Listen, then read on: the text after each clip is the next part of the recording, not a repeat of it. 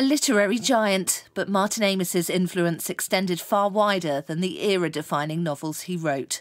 The son of Booker Prize winning novelist Kingsley Amis, he once described the Amis franchise as something of a burden, but his talent for writing was evident early on.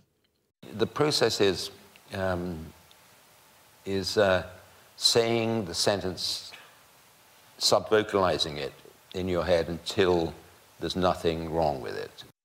He'd published his first novel in 1973 while he was working as an editorial assistant for the Times literary supplement, moving on to work for the New Statesman whilst continuing his writing.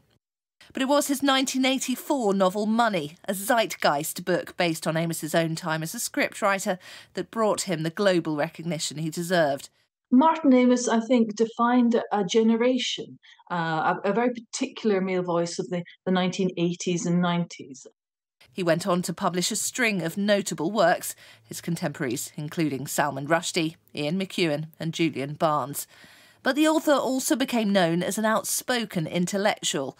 I, in common with many writers, I think, feel that feel that there is a and this may be again just something that every writer feels in every generation, that there's a, a great convulsion of stupidity happening in the world. In a statement, Penguin Books said he leaves a towering legacy and an indelible mark on the British cultural landscape and will be missed enormously. One of the most acclaimed modern novelists, Martin Amis, an erudite and fearless writer, his the most distinctive of voices. Katie Spencer, Sky News.